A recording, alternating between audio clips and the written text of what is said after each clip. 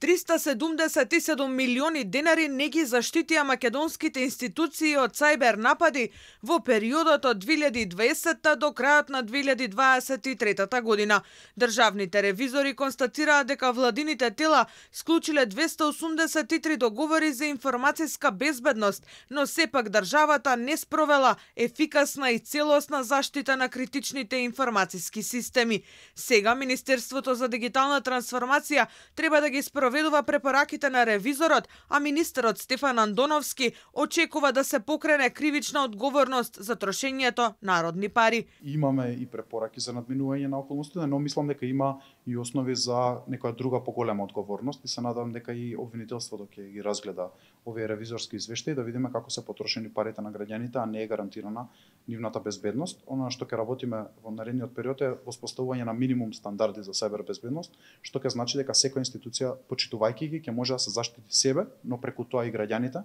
од сајбер напади. Од друга страна, Андоновски вели дека балансирот при вработувањата во државните институции ќе се укинува во фази. Стручноста ќе биде на прво место, пред етничката припадност, вели министерот. Ова е првата фаза да се вратиме на законските основи на пописот од 2021 година, а потоа со закон и промена на методологијата ќе одиме кон целосно укинување на алатката балансер, но мислам дека за ова потребна сопфатна дискусија во рамки на владата да видиме кои се начините да ниту се повреди темелниот принцип на уставот со соодветна и правична застапеност на земјиците, но во исто време прво да гарантираме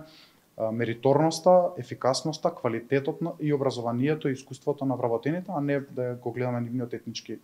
Заложбите на Министерството за дигитална трансформација, со кое раководи Андоновски, во првите 100 дена влада, ќе бидат насочени кон воведување на нови дигитални услуги, 10 за граѓаните и 10 за бизнисот. Дигитализација ќе има и на управата за водење матични книги, која сега ќе биде под надлежност на ова министерство.